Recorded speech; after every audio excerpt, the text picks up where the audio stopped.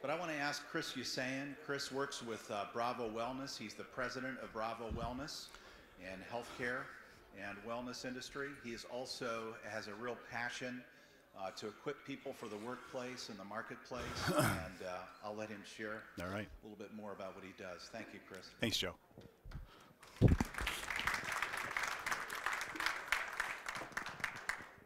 Good morning, everybody. Hi, Joseph. you know, I, I, I stand up here now just amazed at what everybody's been talking about. And even in like the prep for this talk today, how all these themes are just so consistent. So it, it's just reinforcement that God's Spirit is truly working overtime in each one of our hearts and minds. But I really wanted to talk to you today about, about prayer and prayer in the workplace and some of the things that God's been revealing to us. And I'm hopeful that I can open that what God will speak maybe through me today will open your eyes to a fresh approach to prayer and to opportunities that we have with prayer in our day to day lives. And that uh, you might take away at least one or two things differently as you walk away. so, just a bit of background. I've been, I came to the Lord about nine years ago, and I was at a pretty dark spot in my life and really kind of just decided to give, give everything to Him. I, I had hit some crisis. I won't go into a lot of detail on that today, but needless to say, uh, not proud of where I was, but I decided at that time to just give everything I had to the Lord. And it's amazing the, the change and the metamorphosis that he's, that's transformed since then. But early on in my walk, uh, I was working for a small company, and I, I just had about eight months before we ended up shutting it down, ran out of capital. But I watched God perform the most amazing miracles in the workplace and things that really built my faith and helped me understand that He does care about work. He does care about what's going on, every detail of our lives in the workplace. And so that was an early kind of foundation building for me. And then He transitioned me into a small executive search firm that was a faith based firm. And I learned about prayer in the workplace. So we would pray before staff meetings every Monday. We would pray when we go to a client visit. We would pray for issues that we were struggling with. We would just pray about the business, about our families, and it was teaching me that prayer in the workplace really, it really had an important place. Uh, there was this uh, Tuesday morning men's group that Tim Smith was the, the gentleman that owned the organization. He'd been running for about 20 years in his company. And we were studying Os Hillman. I don't know if anybody here has ever gone through Os Hillman studies, but it's all about marketplace ministry. It's about looking at your workplace as your vocation, as your mission field, and it really began to build this knowledge base in me and this desire to want to look at my workplace as my mission field. And then it got supercharged when Tim asked me to be part of a group called Life Work Leadership. It was a nine month course. There's a few people in this organization. Just show of hands, me familiar with what Life Work Leadership is? So there, there's a couple people here, not a lot, but, but there were, it was a course designed to help us understand how Jesus Christ led. I mean, Jesus was an amazing leader, and the traits and the characteristics that he exhibited in his ministry were ones that we were trying to emulate ourselves. And the first thing was really understanding that my work is my calling and that I was called into wherever I am. And then some of the other things that he would talk about was being generous with our time. You know, generosity was one of those themes that in the workplace, if we're not generous, if we're holding the money for ourselves, if we're not giving it out to others in a way that changes their life, you know, we're not living out Christ in our workplace. And that we have to lead from a position of humility. And ironically enough, you know, God does have an amazing sense of humor. And I had been invited to this life work leadership course twice, auditing it. And it's just such a coincidence that the course I was invited to twice was on humility. And I, I, guess just it was an area of my life God really had to work on a whole lot. And it's not a fun process to go through, uh, humbling but I am so grateful that he has, and he continues to work on me in that area. Uh, it was also one of the, the big topics is about relationships, and it's it's the depth of relationships that we have to have. And, and if you look, Christ spent three and a half years pouring into his disciples. Right? He made a sacrifice. He made a commitment. He said, Your time is important to me, and I'm going to invest in you. So, the depth of our relationships are the things that transform us in the workplace and what make people want to hear more about who He is and what He does showing compassion, working to leave an eternal legacy. You know, Bruce talked today about financial fiduciary investing, but it's about an eternal legacy. What are we doing in the workplace that's allowing us to pour into people's eternity, not just their bank accounts? Now, we have to be able to pay our bills, there's no doubt about it, but what are the things that we can do forever? Being courageous to make the tough decisions, and really the importance of prayer in the workplace. And that's what I want to talk to you about. I guess the, the majority of my time with you this morning is prayer, and how God has used prayer in my life, in the life of those around me, to really reveal things to me that I had no idea were going on about His kingdom. So, back in 2012, when I was going through life work leadership, God began to put this burden on my heart about seeing the body of Christ come together. And as a relatively new Christian, I'm on three years in my walk now, I was amazed as I'm being exposed to the riches of this Christian community. And yet I was so disappointed because the body of Christ wasn't working together. I just saw all these resources that were not just, they, they could have done so much more if there was just collaboration instead of competition. And so that's a burden that's just continued to grow on my heart ever since then. And, and, fast forward, 2015, I was called out of I was called out of Aslan into Bravo about after about three and a half years, where God used that time to really change my character, in fact, maybe build character into me, just help me lead differently, to be a different person altogether, but different husband, different father, different friend, different coworker, different leader. He called me into Bravo Wellness, and I knew one of the things I was called to do was to bring more prayer to the organization. I just felt on my heart, this is why, one of the reasons why I'm here. And I don't know if any of you know Jim Pshock or know Bravo, but, but if you look at our walls, we've got scripture on our walls. We've got photos of when Jim Wilkes, Pastor Journey, which was where Jim Pshock, our CEO, would go to, was in our building. Most of our employees were Journey uh, congregants. There was prayer, there's scripture on the wall. So Bravo had, has a, f- a foundation of prayer, foundation of faith. But I know I was called to bring more. So now we begin praying before our staff meetings. We're praying before our quarterly meetings to work on our strategy. We're praying before our monthly all hand meetings. We're being smarter and smarter about it, but we've really tried to bring as much prayer into the workplace as we can, recognize that this is God's workplace, not our own. The CEO and I meet once a week, and we try to we try to start our meetings with prayer. Whether it's we're praying for a business, we're praying for wisdom, we're praying for families that we know are struggling in the organization. We're praying, you know, just prayers of thanksgiving for maybe new births or new marriages, and it's just that opportunity to come together that it really has transformed our relationship in a way that it makes us stronger because we're, we're in a pretty stressful time but as we bring prayer into it, it's amazing how that brings a peace. You know, Bruce talked about that, just surpasses all understanding. So, one of the things that during my time at Bravo was in 2017, uh, I happened to be at a couple of Christian events, surprisingly enough, and I met two brothers that I, I knew relatively well, but not really deeply. And, and as in our, in our time together, we all shared that we had this burden to see the body of Christ come together. So I had a couple breakfast meetings, and the second one, I said to the one guy, it was Brian, and I said, Brian, I, I'm sick and tired of talking about this. I want to do something. But I don't really know what something is, other than I think it involves a lot of prayer.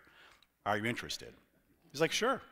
So I said, there are three other guys that I think are supposed to be part of this. Are you okay if I invite them? He's like, yeah. So I did, and of course, they all said yes.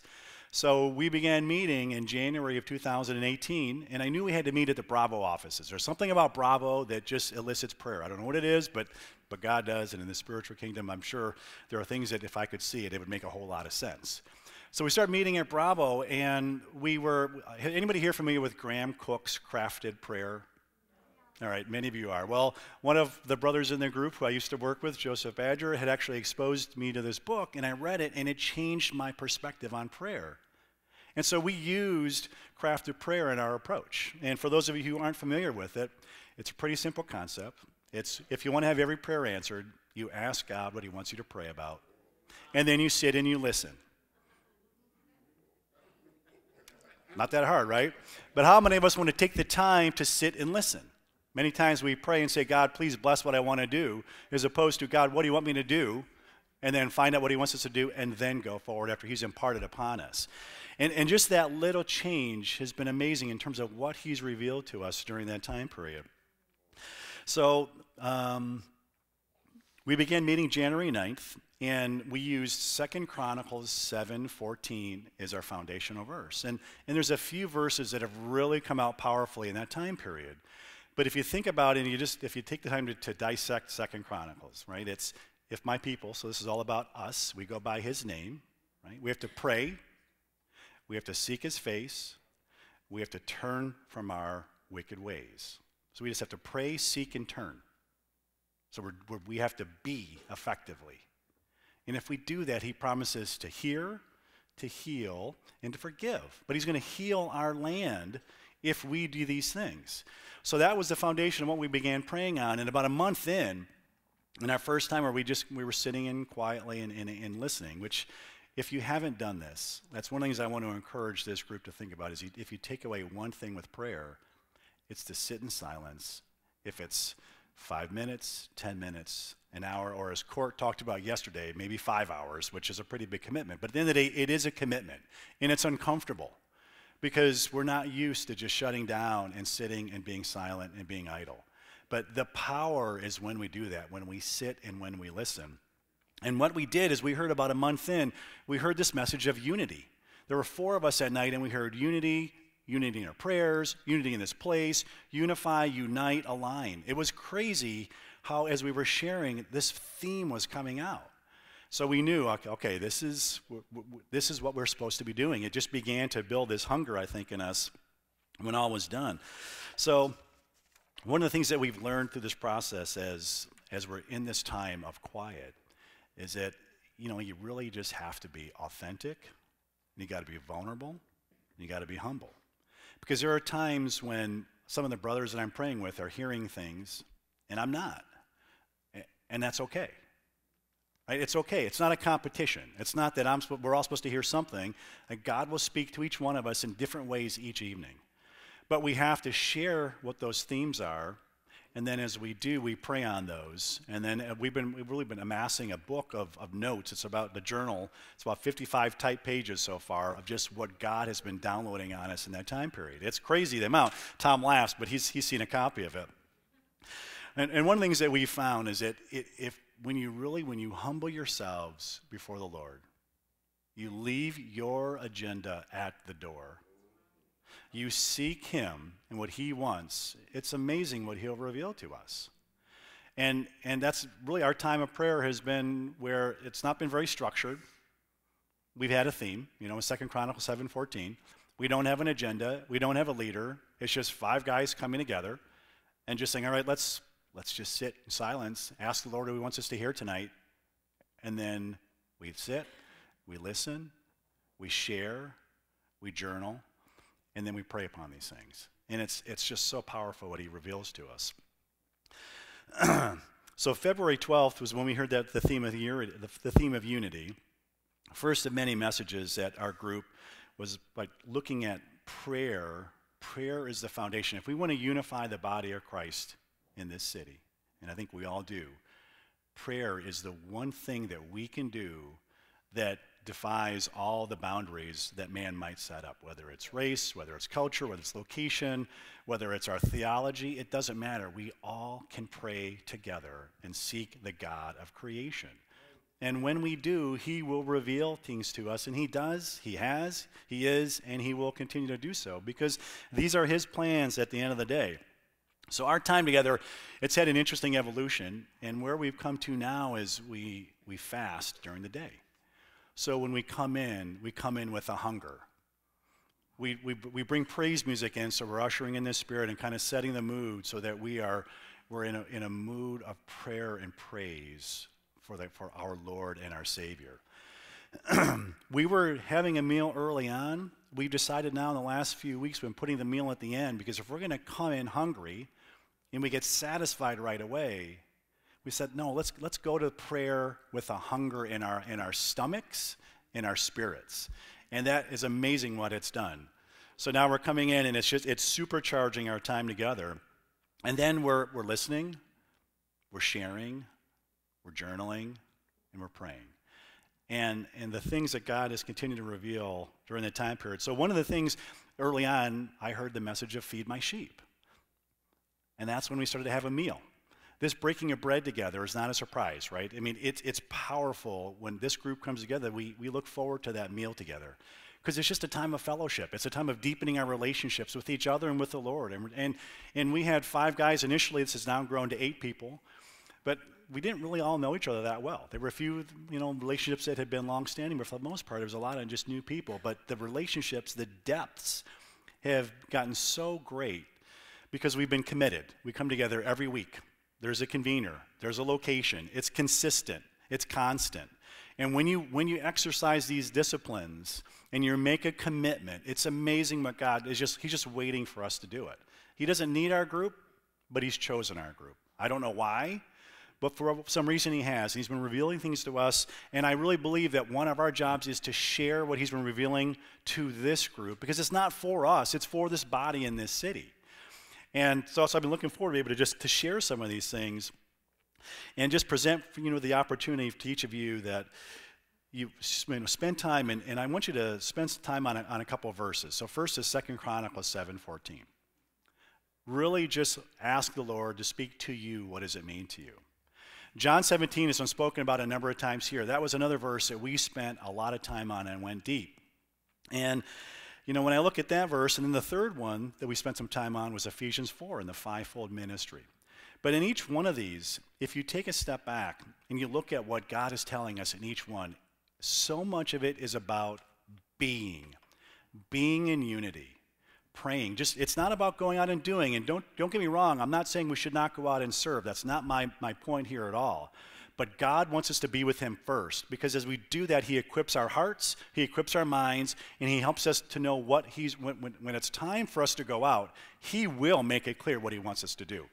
There will not be any guesswork. There no, will not be any chaos. It'll be clear as a bell. But until we know, we have to sit.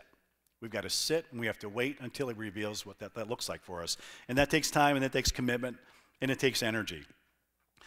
Uh, one of the things that we heard, we were at, back in February of 18, I was on a men's retreat and had, um, there was a time of prayer. And one of, the, one of the men that I was with, I had shared with him in a hallway conversation about a couple minutes conversation of our prayer group. We were a month in. And in this time of prayer, he just starts to reveal some things to me that God was sharing with him about our group. And, and he said, you know, one of the things he said is that this group has been chosen and it's going to grow. But you don't have to do anything. God's going to make it clear. It's, he, he's got this all. You guys just have to be persistent. You've got to be patient. You've got to stick with what you're doing and then and don't force it. It's going to be this wave that comes through. You just have to catch the wave. He's going to take care of everything else. It's not your responsibility. So it takes all the pressure off us to just go and be with him and to hear what he has to say. And that's an amazing thing when that happens. One of the, one of the things that we've done that, uh, again, I'm going to call Joseph out on this because it's been such a powerful thing in our, in our prayer group, but we also do this at work, is we've had some times of encouragement where we just will go around the table and we'll each speak life into a person and how God sees them through our eyes, how much He loves each and every one of us, how He's gifted them. We actually did that in our workplace with our senior leadership team two weeks ago, and it was amazing the life that it fed into our team. And in terms of the theme of relationships, what better way to build relationships and to love into somebody and to share with them the things, and because it's, it's so easy to be critical in today's world of what people aren't doing right, how much time do we spend just pouring into people and telling them what we love about them and speaking words of life and affirmation into them? That is, I, I, if you do one thing, you, I want to ask you to take that back, whether it's your small group, whether it's your family, whether it's your workplace, it doesn't matter. Just with your group, your tribe, your organization that you're with on a regular basis, spend an hour, two hours just loving on them and speaking words of encouragement and, and, and truth in their life. And watch what happens to your relationships. Watch what happens to their confidence. Watch what happens to their leadership. Watch what happens to the output of this organization. It'll change dramatically. We've, we've had a number of visions in our group while we've been together. And one of the visions that was really incredible and pretty exciting is, is one of the guys had a vision of a tent covering Northeast Ohio. And this tent had these large tent poles in it. And this large hand with a pitcher of water came out and it was pouring water onto the tent, but the tent was whisking it away. So we knew then that we were praying against a principality covering this city. And as prayers were lifted up, as prayers were lifted up, the tent flaps were removed and the poles were destroyed, and then the Holy Spirit came in and ran like crazy in the city. And it's further reinforcement that prayer is the weapon we have to employ. That's how we're going to fight this battle in this city. It's through prayer. And as our, body, as our voices come together as one,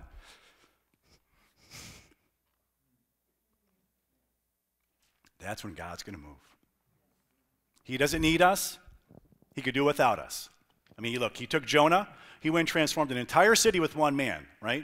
100,000 people. But I think in Cleveland, he's going to use, a, he wants us to come together because we have to show the world what unity looks like. We had a vision of five interconnecting circles over Northeast Ohio. If you can think of the Olympic rings, you know, and, and we've thought of it a couple different ways. It might, it might represent the, the relationships that our group has and how we're connection points for different people across the city.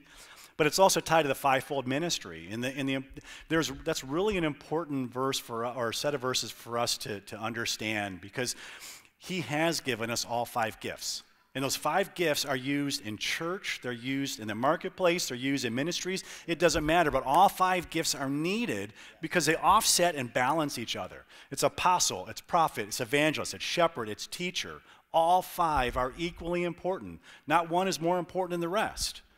But we're all, every one of us in this room has one of those as a dominant gift and one of those as a secondary gift. And if we don't know what they are, we need to know because God gave us those gifts for a reason. So we could go use them in His kingdom to share His gospel with other people.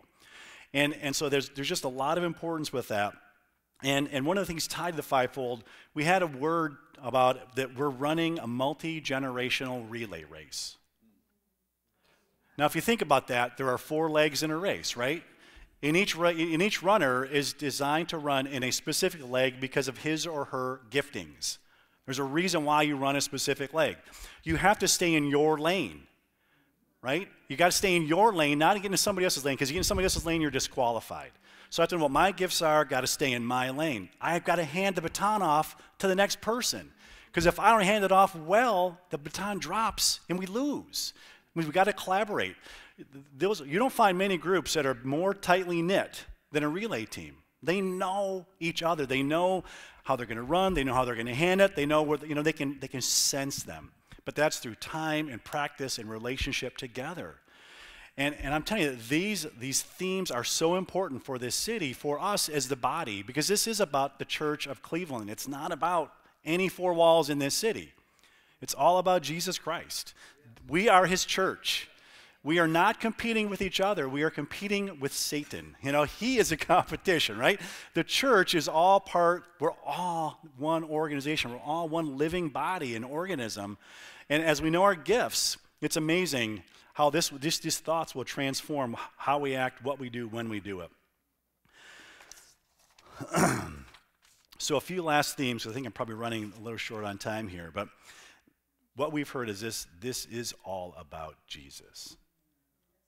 Our time together on Mondays, even though God is literally changing each one of our hearts, this is all about our Lord and everything we do in this city. Um, we can't think differently, we can't act differently unless we begin to embrace new concepts. And Tom talked a lot about the church of the city being a concept. Can you imagine if every believer in this city really took that to heart? What would Cleveland look like? Just imagine the possibility of what this city would look like if everybody looked at the city as the body of Christ. And not my workplace, not my, you know, not my, my church, not my parachurch, not my ministry, whatever it is, but we're all here to serve our Lord in this city. Um, we know we're fighting a spiritual war. We are. It's real, and our prayers are the weapon we have to dispose it. I mean, we, we can win this. We will win. Christ has already won the battle, right? We, just, we just, he's inviting us to be part of this, and we have to use the weapons that he's given to us. And the weapons he's given to us to destroy our strong, strongholds, it's the power of prayer. One of the things that we heard that was really, it's a concept that I struggled with for a while, was that he wants us to work with him, not for him. And I thought, well, well, of course he wants us to work for him. He's God, you know.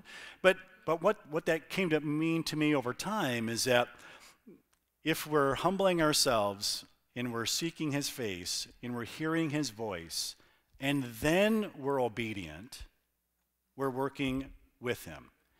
If we're coming with great ideas and praying to the Lord and saying, hey, bless my idea, and then go out and do good stuff, we're working for him. Nothing wrong with doing good things, don't get me wrong. But if God didn't call us there, if He didn't gift us, if He didn't anoint us and appoint us, we're not going to bear the fruit that we should. Because it's not where He wants us. We've got to be where He wants us. And the only way we know that is we've, we've got to be working with Him and not for Him. We have to be obedient. Uh, obedience is a theme that came up time and time and time again, and it's a word that, you know, it's almost a negative word in today's society. But in the economy of God, it's one of the words that's so important because when we're, when we're hearing His voice and we're acting upon it, not only will we bless somebody else, but our lives will be enriched and blessed so greatly. And so that word of obedience is, is absolutely critical. We've talked about repentance. Repentance is we have to turn from our wicked ways. We have to constantly repent because we've got to get the poison that's in our body. Even though we look, we've been saved. We have a Lord and Savior who has taken away all of our sins. But we still have sinful nature or sinful habits. We have habits that we will we may continue to do, and so we have to be constantly in repentance. And those types of things will also help relationships and they'll help us move forward in ways we haven't been in the past. This is not about uniformity. It has nothing to do with thinking the same way. It's not about a common theology. It's about unity. Unity of our voices, unity of our hearts. As Tom would like to say, it's a mindset, right? Unity is a mindset. But when we come together in prayer, we're demonstrating that mindset that we're seeking the Lord and what He wants, not necessarily what we selfishly want from our own ways. We talked about the spiritual war. We believe Cleveland's a beachhead. One of the things, if you think about for a while, we were actually spending time. If you look at the Cuyahoga River, the Cuyahoga River is shaped like a serpent.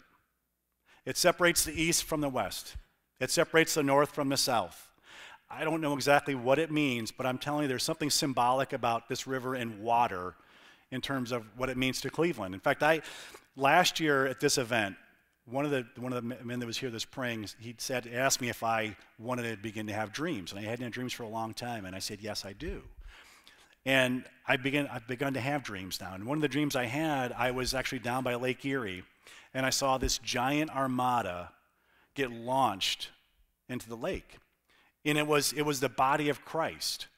And, and if you think about an armada, you've got aircraft carriers, You've got submarines, you've got PT boats, you've got destroyers. They're all equally important in the war. We have this rich community of, of fight Christ followers and believers in this city. And when we begin to act as a true, you know, one team coming together under one Lord, it's amazing the power that He's already given to us at our, it's at our disposal today. We just have to really leverage it. Um, just for a second, a thought on prophecy. I don't know, has anybody here read Graham Cooke's prophecy on Cleveland? A few people, yeah, lots, many. Bob Jones. I, I would encourage all of you, if you haven't read it, go find it and read it. And if you have, refresh yourself on it and pray on it. We must believe this is true. God has given words to others about our city. How can we not believe these words? we have to hold on to them and pray on these things and watch what he's going to do in this city. But this, this city is, it's, it's like a beachhead. There is a lot of darkness in this city, and that's usually there's a lot of darkness because something important is going to happen. I don't know what it looks like or when it's going to happen, but we have to believe it will and pray into this and see what the Lord will reveal to each and every one of us and what, what does he want us to do. So I could go on and on about this. Uh, I'd love to, but the time's running short. My hope is that some of these ideas or these concepts might change your prayer life. You might think of things a little bit different than you have in the past. Mm, I'm hoping that God has already been raising some of these things up in some of your hearts, and that as these words are being shared, you're just hearing something that, that or it's being reinforced with you that this is what God wants you to be involved with. Because I know He's raising up men and women across the street. He, he has been, he is right now, and He will continue to. And our job is just really to share with you what we've heard. So if I could, I'd like to just, just close us out in prayer, ask you to spend just a few seconds and have the Lord download on you what, what if anything, that's been said today, He wants you to take away as you leave today. Can I break in? Please. Okay. I, I want to say as a pastor, and I think I can speak for the other pastors here you're an answer to prayer. You talked about fivefold gifts in the marketplace. The Lord is telling me He's giving you apostolic authority. And I believe He's supposed to pray for a release of the fivefold gifts in Northeast hmm. Ohio. And I want us all to stand. God's given you authority, Chris. You hmm. need to go for it. Will you just pray Yes. that those gifts will be released in the workplace?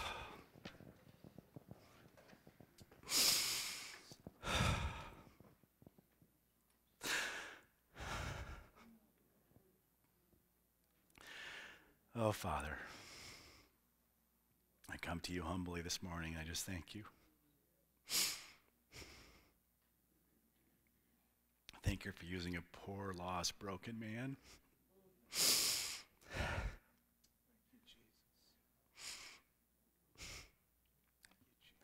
Lord, you have blessed each and every one of us with powerful gifts that I don't know that we really know how much power we have at our disposal. Lord, let this day be a time of anointing and appointing.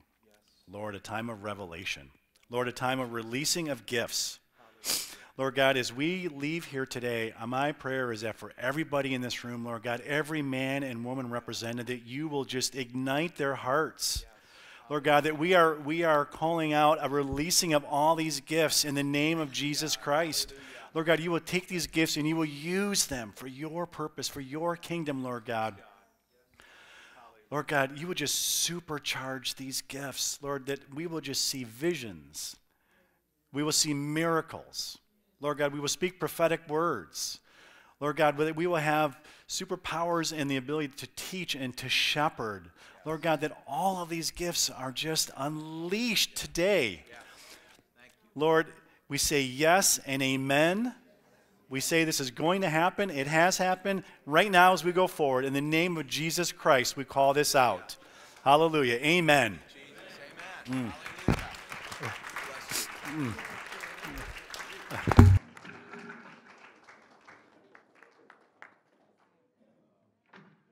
Go ahead and be seated if you will, if you can.